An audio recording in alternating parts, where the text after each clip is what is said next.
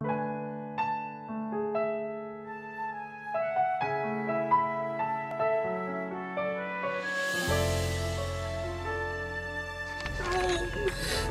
ba talaga may gawa nito? Ikaw ba gumagawa nito para guluhin pa yung isip ko? Eh, Emma, nasan ka? Jordan, kailangan ko ng tulong mo na aksidente Eh, wala ho dito ngayon si Boss Jay. Nagpapahinga po sa, ano, sa beach house. Puntahan mo siya, sabihin mo na pumunta na siya dito. Dito na lang siya mag-overnight. Can you stay there with her? Mukhang matatagalan pa ako eh. Oo naman, of course, of course. Thank you so much, Jordan. Thank you. After the tests, uh, bukas pa magkakaroon ng results. I suggest that uh, Emma stay here overnight para ma-monitor namin siya. Kukuha na lang ako ng kwarto. Eh sabi sa akin ng yaya, okay na si Chelsea. Hindi. As in, kaka-check ko lang sa anak mo, inaapoy siya ng lagnat. Hindi na ako tutuloy ng Batangas. Hintayin mo ako dyan. Okay na po ako, Tita Maui. Wala na po akong lagnat. That's good to know. Nasa isang ospital lang si Ma'am A tsaka si Miss Emma. Oo, Eh, boss, paano yan? Sino sasamahan nyo? Si Miss Emma o si Ma'am A? siyempre si Emma na aksidente, eh, kariwan sariwa. Sige, boss, good luck. Sige, sige.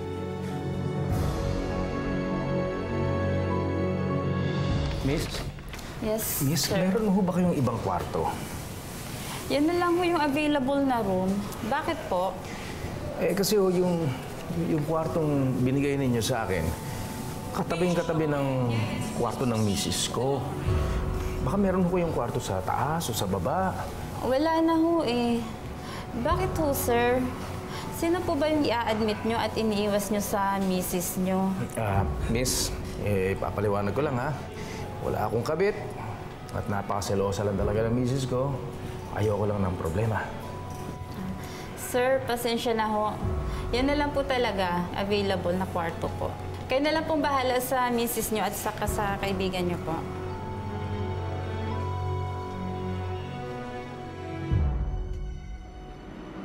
Oh, wala ba si Jordan?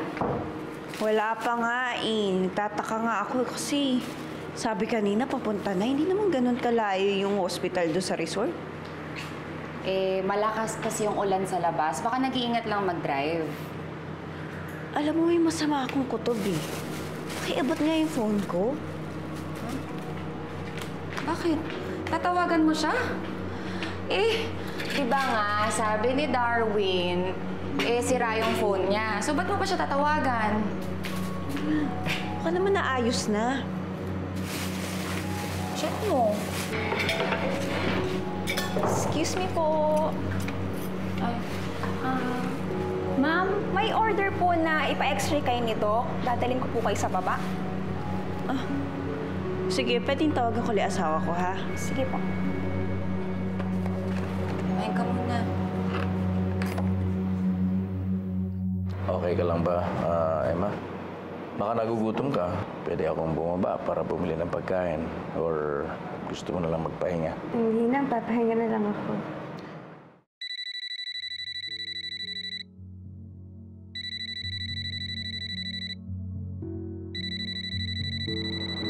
Oh, ba't hindi mo sagutin? Ah, si Athena, tumatawag. Oh, eh, asawa mo pala eh. Ba't sagutin mo na? Alam mo, Emma, nandito rin sa ospital si Athena. Kaya pa siya tumatawag, tatanong siya, pero hindi ko alam kung ano sasabihin ko sa kanya, kaya hindi ko masagot. Ayun pala eh, dito rin siya naka-confine. Eh di puntahan mo na. Nakakahiya naman sa asawa mo, ako yung inaasikaso mo. Kaya ito, pupuntahan ko lang, ha? Tapos babalik ako dito kaagad. Okay? Jordan, salamat sa pag-asikaso mo sa akin ha. Pero huwag mo na akong alalahanin. Okay na ako, kaya ko naman sarili ko. Papayag na nag-iisa ka dito nung walang kasama. Okay? Balik ako.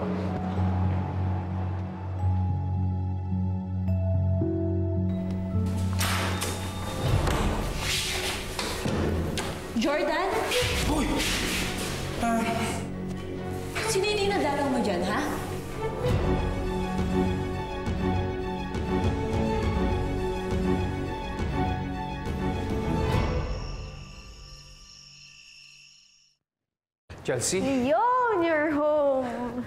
hindi ko pinunta ko rito. Chelsea. Maui, bakit parang wala naman siyang lagnat? Hindi naman siya mainit ah. Bumaba na. Okay na siya. What? Eh kanina you made it sound so urgent na parang nagdideliryo na tong anak ko. O bakit hindi ba urgent matter yung nangyari kanina? Unless may mas importante pa kaysa sa anak mo. Of course not. Importante sa akin ang anak ko. Yun naman pala eh. Ang importante, nandito ka na. Sino yung nasa loob? Nurse, punta tayo doon sa loob. Gusto mo makita kung sino? Hindi, na. Nakakahiya naman, nagkamali na nga ako eh. Hindi ko alam kung sino yung mga nandiyan dyan, tapos papasok ka pa. Nagkama, pasensya na ako kayo. Nagkamali ako eh. Pasensya ka na, hindi ko alam kung sino nandyan. Eh, pare-pareho ito yung itsura ng mga kwarto rito, eh, isa lang ang pintuan. Niloloko mo ba ako? Eh, alam na alam mo kung anong kwarto ko. Nagkamali nga ako, eh. Hindi ako nakatingin, pagpasok, ibang tao pala. Ikaw naman, huwag ka na magagalit. Ah, saan ba kayo pupunta? Sa X-ray ho? X-ray, o, alika na, malilate na tayo. Sandali, bakit hindi mo sinasagot yung mga tawag ko? Ba't ang tagal-tagal mo dumating, ha? Mahal ko, pasensya ka na, hindi ko narinig. Eh, maingay, matraffic. At saka yung, yung cellphone na nanginginig, nanginginig din yung kotse. Halika na ba tayo x-ray? Ako lang matutulak niyan. Halika na, halika. Pag-hawak na lang, ha? Thank you. O, halika na. Pasensya na ako kayo. Alam mo, since okay na si Chelsea, tara, nightcap tayo. Hmm. May wine dyan. Hindi mo ba talaga ako titigilan? Maui, alam mo naman hindi ko papatulan yung mga advances mo sa akin. Alam mo naman may girlfriend na ako, di ba? I'm out of. Wow, saan ka pupunta? Babalik ka na naman kay Emma. Porket okay na yung anak mo. Bakit hindi ka mapirmi dito? Why don't you just stay here kaya, no? All you do is go to Batangas para alalayan si Emma. You have forgotten that you actually have a kid and that she needs time with you. Ano?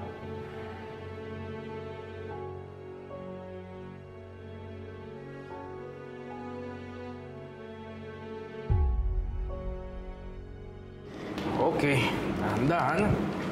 Okay. Oh, Okay. Jordan, nandito ka na pala. Oh, Selma. Oh, yeah. No, madali nga ako eh. At nagkamali pa siya ng pasok ng kwarto. Bakit mahal? Babae ba yung pasyente doon? Ay, eh, hindi. Lalaki.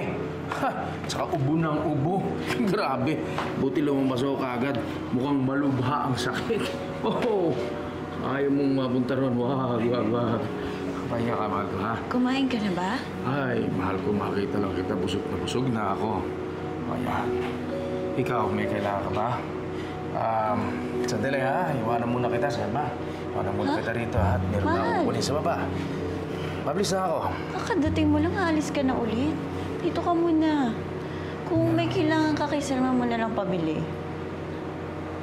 Teka, ano ba ako dito? Utusan o kaibigan?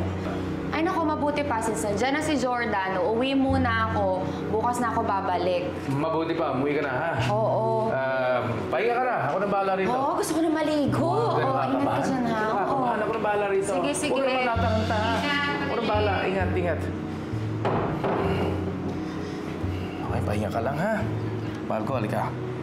Matulog ka, pahinga ka lang. Okay, yan. Dito ka lang, ha? Oo, dito lang ako. Basta, bahala sa'yo, ha? Tulog ka na, ha? Pikit mo mata mo, ha? Okay, huwag mo akong pakikinggan. Basta, pahinga ka lang, ha? Yan, importante dyan. Pahinga ka lang. Dito lang ako, ha?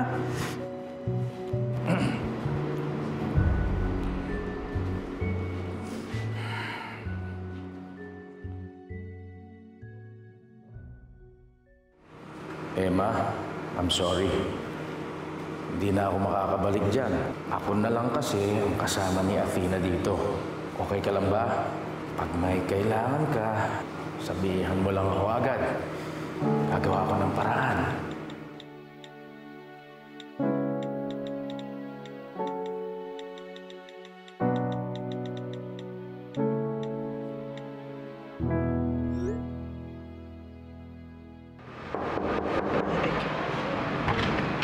Bes? Oh, Flor. Kumusta ka? Nako, buti na lang at nasa Laguna ako nung tumawag ka. Nasaan sila yon? Di ba dapat magkikita kayo? Punta na dapat dito ng Batangas kasi hindi tumuloy. Nagkasakit na si Chelsea. Hmm, kaya ba malungkot ka kasi wala yung jowa mo? Ayos lang naman ako. Naiintindihan ko naman. Siyempre, kailangan niya asikasuhin si Chelsea. Wait lang, so sino nag-aasikaso sa'yo dito? Si Jordan. Si Jordan?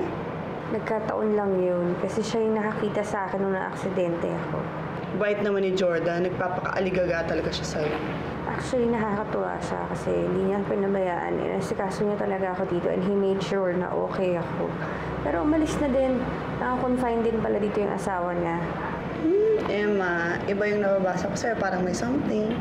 Huwag mo naman lagyan ng mali siya. Natutuwa lang ako sa mabait siya. Maswerte nga si Athena sa kanya eh.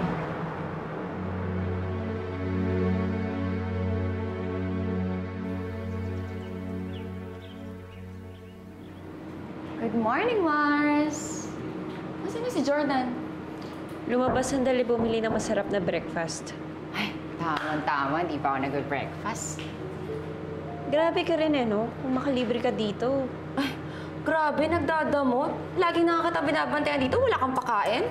Ay, Diyos ko, CR nga muna ako. Ba naman yan? Nagdadamot. Hello? Mahal? Naiwan ko yung wallet ko dyan. Naiwan mo yung wallet mo? Sandali. Ah, ah, nandito, nandito. Nakikita ko. O sige, balikan mo na lang.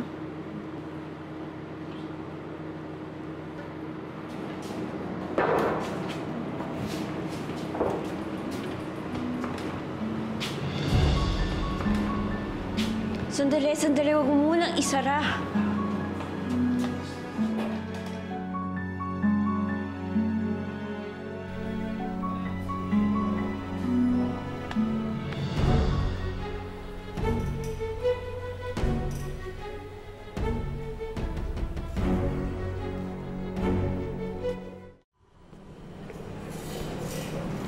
Bakit sila nandito?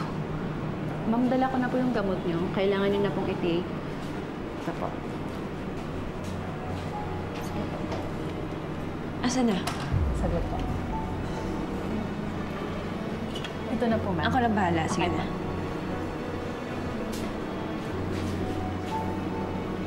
Pabalik na si Jordan eh. Baka magkita sila ni Emma. Hindi po pwede dito eh. Naku, Bes, buti naman at cleared ka na sa mga test mo. Oo nga eh. Okay na yan. Bukas siguro okay na din ako. Teka lang nga, mag-CR lang ako. Diyan ka lang. Mm, okay.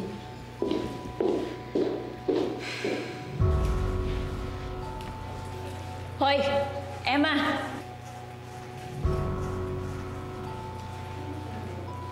Ano ginagawa mo dito? Ako dapat magtanong sa'yo niyan. Sa dinami-dami ng ospital dito, dito pa talaga kita makikita? At bakit napapadalas ka sa Batangas, ha? Bakit? Hinahanap mo yung kamukha ni Rome? Hindi. Actually, na-aksidente din ako katulad mo. Dapat nga ako yung magtanong. Bakit hanggang ospital ng Batangas sumusulpot ka? Ano, sinusumpong ka na naman? Dahil ayokong makita yung pagmumukha mo. Umalis ka dito, huwag ka ditong dumaan mo ka sa likod. Bakit ikaw ba may-ari ng ospital? Wala kang pakialam kung saan ko gustong dumaan. At doon ako sa harap dadaan kasi yun ang gusto ko. Ayaw mo umalis, ha? Walang giya ka? Ay, ano ba yan? Mm. Hoy, tumigil ka nga! Hindi ka na nga ba katay bali na yung leeg mo? Gusto mo pang makipag-away?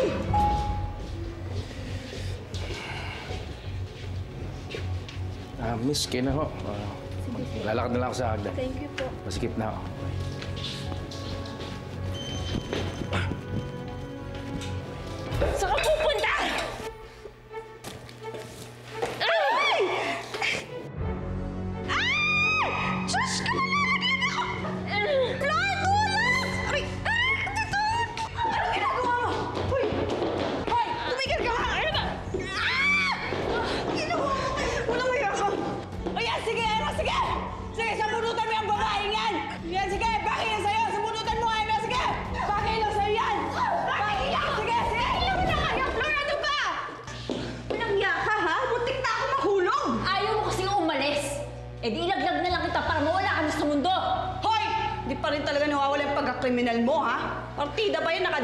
Pa dyan, ha? Alam mo, pag sinapa ka ta, hihiwala yung ulo mo sa katawan mo. Sige, sige, subukan mo, Flor. Hoy! Hindi ako natatakot sa'yo ah. Gusto mo ba magka-neck brace? Masira ulo kayo? Masira ulo ka. Na kayo dito! Ikaw ang nang malis! Malis na kayo!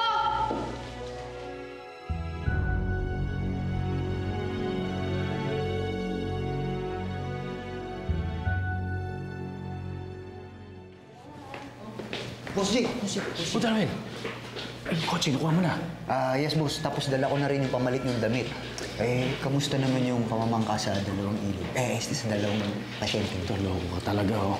Samahan mo nga pala ako, ha. Bibili tayo ng pagkain para kay Athena. At saka pautang muna sa'yo. Ayoko nang umakyat sa kwarto dahil naiwan ko yung pera ko sa wallet ko. Huh? Boss, boss, yes, boss. O, tara. Eh, buti hindi naghinala si Ma'am A kay Miss Emma na busy kayo doon. Ako, monte na. Nasa kabilang kwarto lang siya. Hindi ko pa nga siya nadadalaw, eh. Mamaya lang pagbalik. Balik ka na. Idol talaga Pera ka. boss, eh. Pera ka. O, tara, tara, sige, pagbaba, boss. Idol talaga. Galing sa time management. Dali, dali.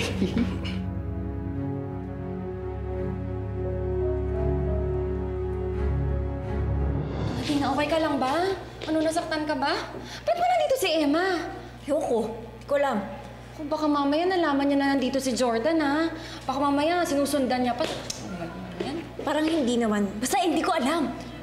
Alam mo, sundan mo na lang sa baba. Baka magkita sila ni Jordan eh. Hindi sila pwedeng magkita. Eh, paano ka? Ako nang bahala sa sarili ko. Bilisan mo na. Bumaba ka na.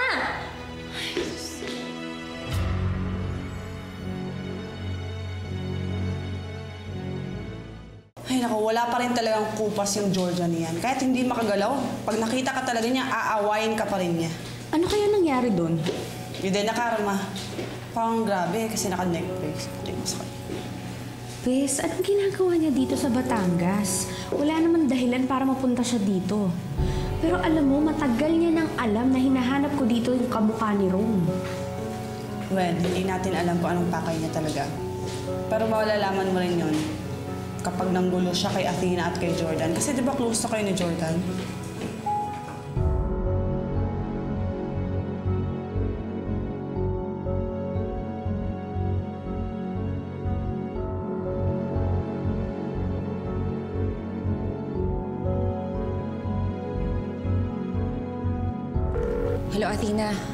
The coast is clear. Wala. Umalis na sila. At hindi sila nakita ni Jordan. Nakakaba, grabe. Diyos ko. Ayoko na maulit yung mga ganong pangyayari. Nag-away na naman kayo. Puro kayo away. Selma! Gandito ba naman inaabangan mo ko? Masyado kang atat. Oo nga, eh, masyado akong atat eh. Sorry ah. Che! Jordan, kanina ka pa hinihintay ni Athena. Ano ka ba? Eh, kanina ka pa sa telepono. Halika na, dali na natin. Sige, na. tara, tara. Boss, oh, buhati ko na yun. Kanina pa tayo rito eh. Ngayon ka mag-iyaya. Ang magandang loob lang. Ang aga-aga si Emma yung nakita ko. Ah, ito na yung pagkain mo. Oh, ba't nakasimangot ka? Parang mainit ang ulo mo. Ah, hindi mahal kasi gutom na gutom na ako eh. Eh, ito na nga. Ito na, ito na, ito na yung pagkain mo. Oh, yan, oh. Huwag na mainit ang ulo. Yan, ha. Yan para sa'yo. Okay. Okay. Kumain ka na, ha? Yan, sige na. Okay. Ma'am A, ah, pwede po bang mahiram si Boss J kasi marami tayong parating na guest and kailangan po si Boss sa kitchen. Oh, sige. Okay, sige. Pero sa resort lang kayo ah. Okay, mahal ko. Kumain ka lang, ha? Babalik ako kagad, ha? Dali, saan ka pupunta? Bakit may dala kang pagkain? Yung, yung driver, ay yung, yung janitor. Ginagawa yung ano, yung kotse, lininisan, ang ganda. So, naiya naman ako, kailangan ko siyang bigyan ito. Ha? Balik ako kagad. Kumain ka muna dyan, ha? Sige. Hindi na sisimangot. Yan. Okay. Tara, Darwin. Eh, boss, tulungan ko na lang si Selma rito. Ano, Hindi ko na yun. ano matutulong mo dito? Ay, yung plato, yung plato. Ano nga?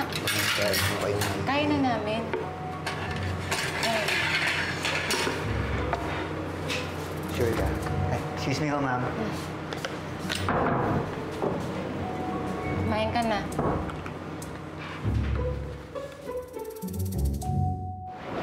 Emma?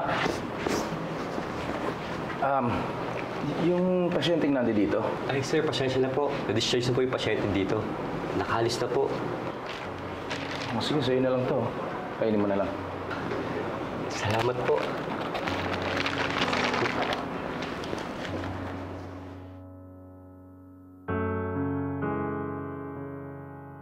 Hindi na ako nagpaalam kay Jordan. Baka dumaan yun sa kwarto.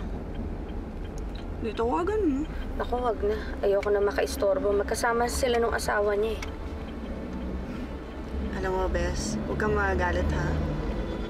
Pero yung sinabi mo yan, linyahan niya ng mga kabit eh. Para bang may secret affair kayo ni Jordan. Bes, wala naman kaming affair. Alam ko, at hindi ako papayag na magkaroon kayo ng relasyon, Diyos ko. Alam mo, hindi niya maiisip yun. Kasi magkaibigan lang naman talaga kami. Isa pa, mukha naman siyang loyal dun sa asawa niya kay Athena. Alam mo, yan talaga dapat ang iniisip mo, ha? Kasi kung magpapatuloy yung friendship nyo, eh baka hindi mo namamalayan na fall ka na sa kanya. Nagkataon lang naman tong pagtulong niya sa akin. Iiwas na rin talaga ako.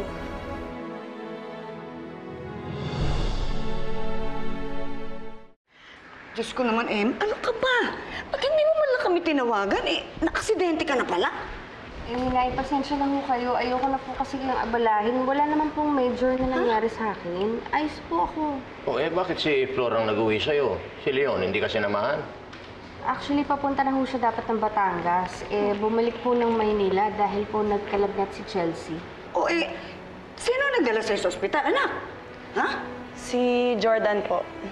Eh, siya po yung tumulong kay Emma eh, at nag-asikaso sa kanya sa ospital habang hindi pa ako dumadating. Ah, ang bait naman niya. Eh, tingnan mo na, pa, kailan namin makikilala yan? Parang puro istorya na lang. yan Jordan na yan sa amin ng nanay mo.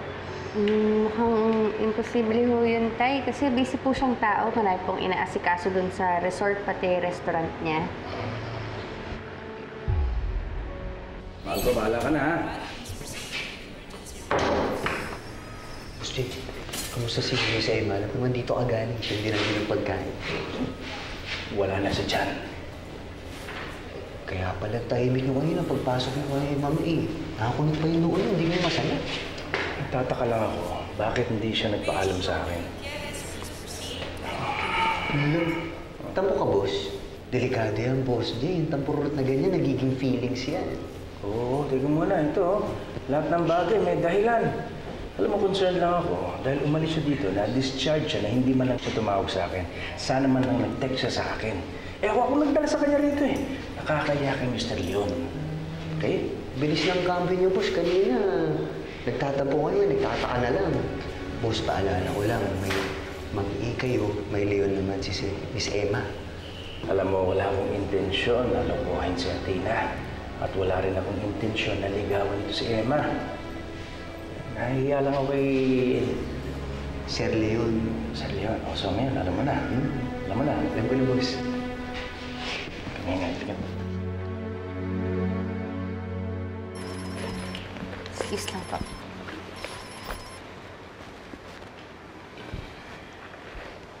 Leon? Ah, kamusta na si Chelsea? Magaling na ba siya? Yeah, she's okay now. That's good. Leon, is it okay? Bukas na lang tayo mag-usap. Magpapahinga na rin sana ako. Emma, I'm sorry talaga. Alam ko naman kahit hindi ka nagsasabi, alam ko nagtatampo ka. And I'm really sorry dahil hindi kita nabantayan sa ospital. And uh, I stood you up doon sa date natin sa beach. Well, honestly, nagtampo talaga ako. Kasi dapat ikaw yung kasama ko sa beach, pati sa ospital, at hindi si Jordan. Dahil hindi naman niya obligasyon na samahan ako sa ospital, lalo na't meron din siyang asawa na nakakonfine, pero ako yung inasikaso niya. But, you know, I, I understand. Hindi mo naman siguro ginusto yun. Again, Emma, I'm sorry. I, I understand. Uh, by the way, Emma, nung tinawagan kita nung nasa beach ka, you said something na parang ayaw mong maalala at parang bumabalik yung sakit. Naalala ko kasi si Ron. Pero ayoko na sanang balikan. Okay, I, I understand. Okay, bye. Okay, thanks. Bye.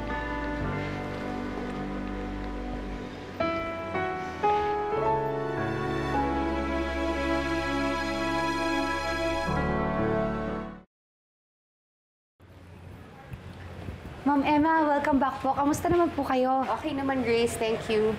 Coffee, please. Ah, si Jordan ba magti-train today? Ah, mamaya po, nandito na yon. Okay, Um, Grace, pakihabol. Sabi mo, wag na siyang tumuloy. Okay na siguro yung ilang araw niyang training dito. Are you sure? Yeah. Hindi ba parang bitin ata yung ilang araw lang? No, I guess okay na yun. Emma! Oh, Jordan! Oh, Leon. Kamusta ka na? Okay, okay. Mabuti. Ikaw naman. Thank you ah. Thank you sa lahat ng ginawa mo and uh, pasensya ka na sa abala. Wala, wala yun. Okay lang yung ginagawa ko talaga yan para sa inyo. Ah, coffee for Jordan ah. Yes, yes. Ah, Emma, hindi na ako nakakabalita sa'yo. Um, Jordan, ayoko na rin sanang maka-estorbo sa'yo. So, this will be your last day sa pag-training ng mga tao, ha? Ah, okay lang yun. Ah, ang totoo niyan, gusto ko na nga rin makabalik para gusto ko na matapos ito eh. Gusto ko na balikan si Athena. Pero teka, naturuan ka na ba ni Jordan ng kanyang mga Batangas dishes? Okay na yan. Naturuan na naman niya yung mga tao natin. Yeah, but you're the owner of this place. Dapat marunong ka rin. Di ba ikaw mismo nagsabi sa akin na gusto mo matutunan yung mga dishes ni Jordan? Why don't you take this opportunity to join his group later? Okay lang ba yon? Okay. Oh, Of course, of course.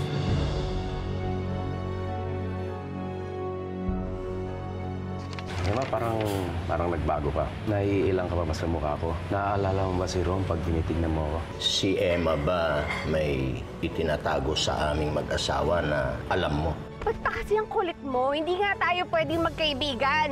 Bakit nga? Dahil naaalala ko si Rom dyan sa mukha mo!